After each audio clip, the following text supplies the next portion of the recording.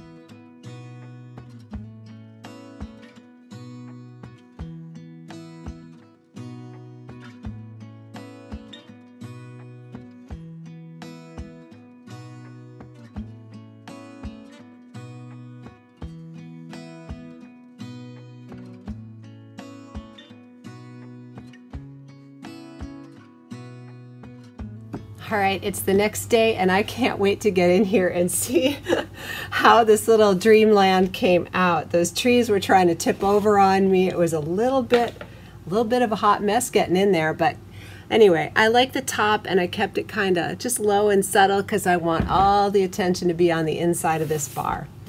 So I'm excited to get cutting on this one. Let's get in here.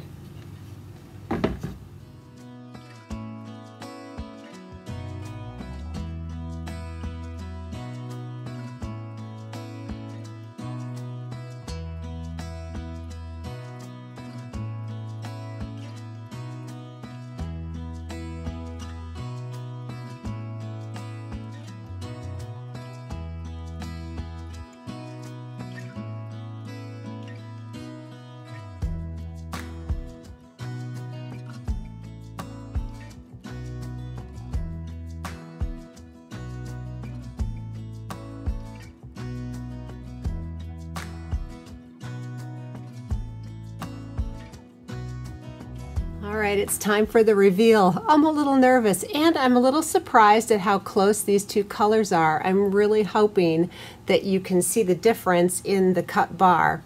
So I'm going to cut with the jojoba beads down. I don't think they would cause drag marks, but just in case. They're a little bit squishy, but you know, why not? So, jojoba beads down, let's cut. Oh, I'm a little nervous here, people.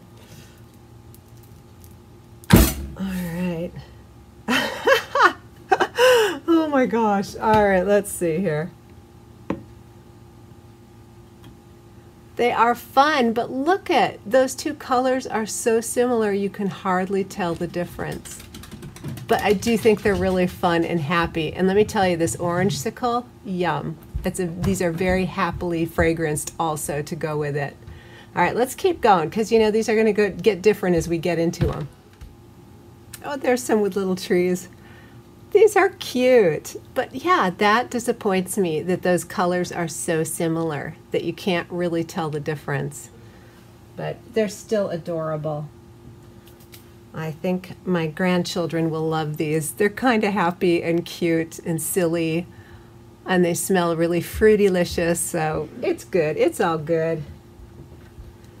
So note to self, I'm going to have to mark that on those bottles that those two colors are super duper similar. I love that some of these have different patterns on each side as the tree layout. Oh, that one was right on the edge. I can plane that out. And also, because of all the embeds taking up volume in my soap mold, these are really tall for my bars. So they are going to be a little weightier than my normal bars just because of the embeds increase the volume so much. All right, here we go. So this one has twosie on this side and onesie on that side.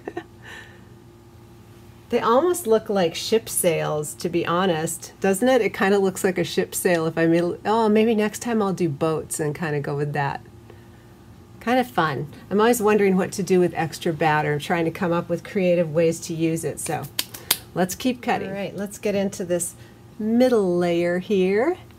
I love those jojoba beads. They're really cute and pretty.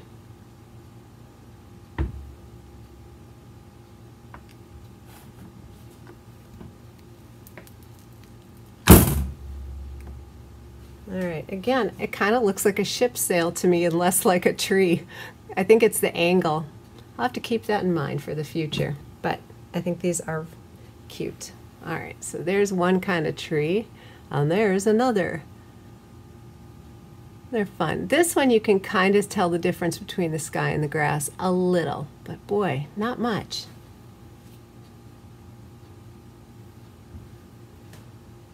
Soap sides are really pretty. I love soap sides.